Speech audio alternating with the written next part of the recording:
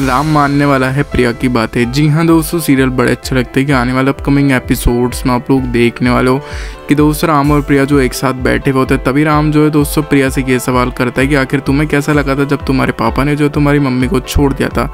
तो प्रिया ये बोल देते कि मुझे ऐसा लगा था कि मानो आसमान से एक तारा है, उसने जो हमारी ज़िंदगी बर्बाद कर दी। उसके बाद हमें देखने मिलता है कि प्रिया जो है राम से ये सवाल करती है कि आखिर आप वेदिका की ज़िंदगी को कैसे सही करेंगे?